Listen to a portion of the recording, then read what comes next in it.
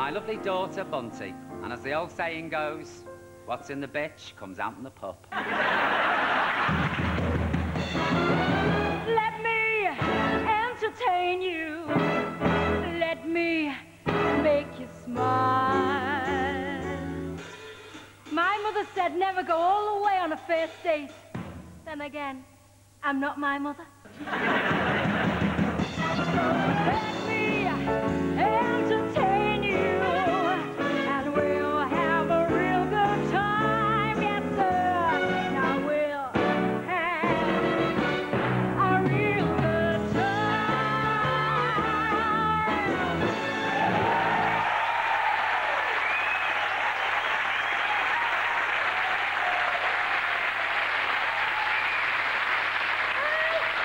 Bloody hell do you think you're doing, you trollop? Nah, nah.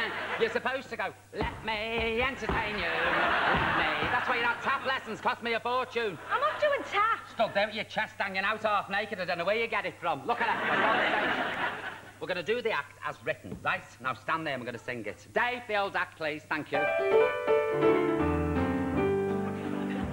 Now, my little girl came up to me in the kitchen the other evening while I was fixing supper.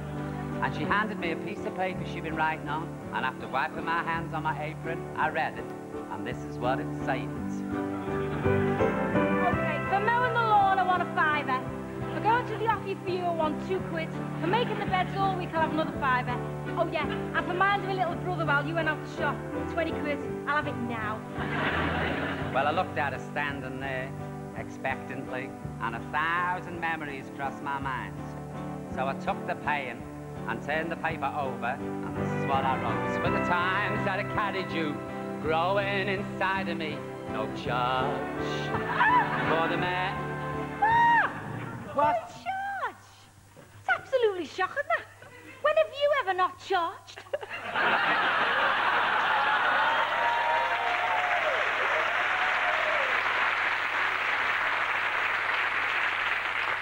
You half-faced mare.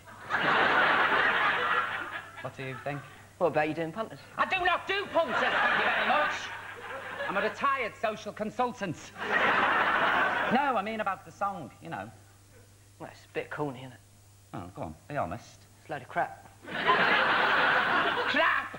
Tammy Wynette, crap!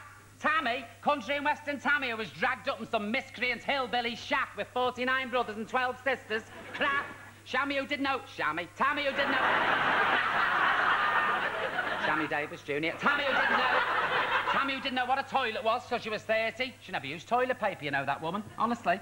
She used to use an old dock leaf. Sometimes a wipe at the donkey's ear if they were lucky. Tammy's who suffered. Tammy who's had heartache and it comes out in the lyrics, not like that rubbish you listen to.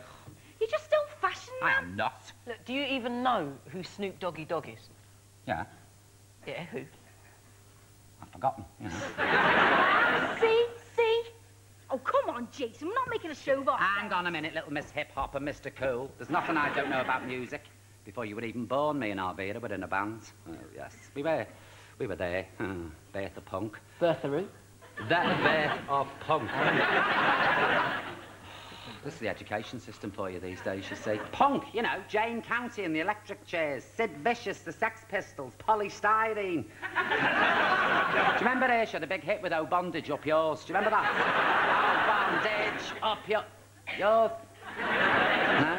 I mean, me and Arvira were in a band, you know. It was called Bloody Molly and the Rickets. You know, Buddy Holly and the Pick, get it? Rickets.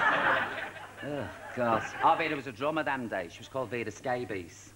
I was the lead vocalist. We had a hit song with a thing called I've Got a Cold. Fabulous lyrics. Snot on the bed sheet, snot on the floor, snot all over the bedroom door, I've got a cold. they, they loved it. Punk. But, man, listen. That was then. This is now.